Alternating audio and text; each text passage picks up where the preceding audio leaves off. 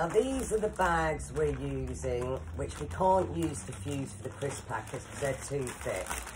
So you get them normally in like soft furnishings, over sofas, electrical box packaging. We get them from Pets at Home, which is great. So they're a lot thicker. You can get a body in there, so it does depend on the size of your bag. Folding our bag in half. This is going to be our neckline here. So we need to measure 14 centimetres in from the neckline. Make your slit. Then we're just going to cut. Yeah. Now, for the front part of the neckline, so only half of the plastic, we need to cut a 14 centimetre split. And that's going to be our front neckline.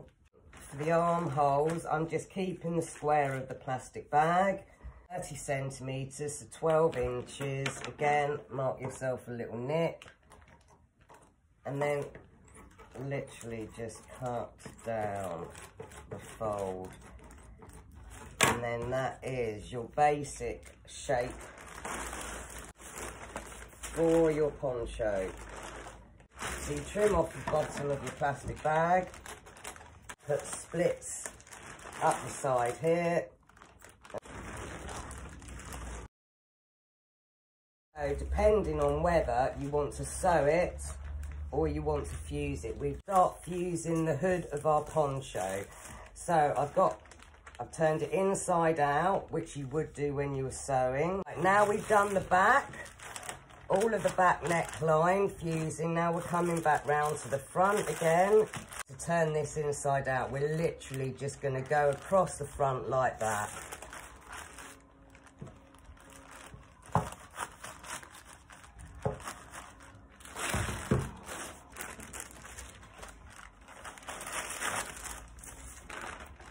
And there you go. So that's all fused. Seam at your back.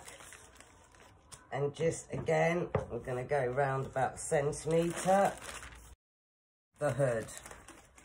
And it's literally a centimetre seam line. And then we're going to turn it inside out once we've finished. The hood we've cut out on the fold there. We're going to, going to turn it round. Start at the fold at the back.